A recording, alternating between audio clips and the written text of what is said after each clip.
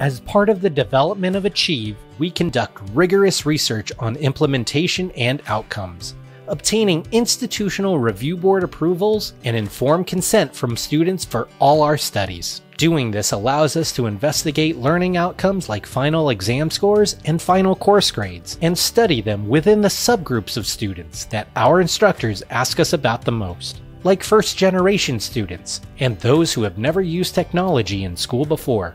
We're confident in our study designs, analyses, and the claims because they are peer reviewed by our research advisory councils.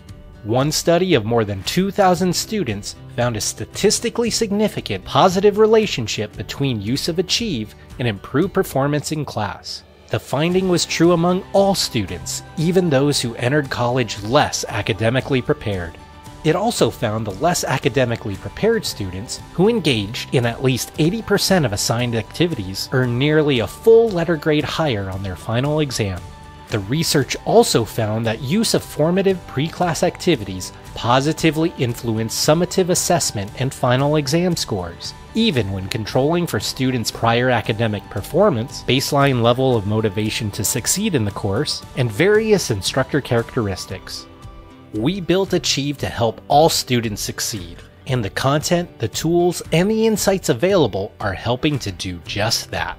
If you'd like to learn more about Achieve, go to macmillanlearning.com/achieve or contact your local Macmillan Learning representative.